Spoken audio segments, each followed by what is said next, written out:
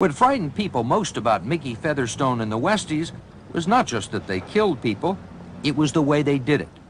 Ricky Tassielo was a small-time gambler who welched on a debt. In typical Westie fashion, he was shot in a Hell's Kitchen apartment, then cut up in little pieces. The body was never found. If there was no body, there's no case, no corpse, no case. Westies do that a lot?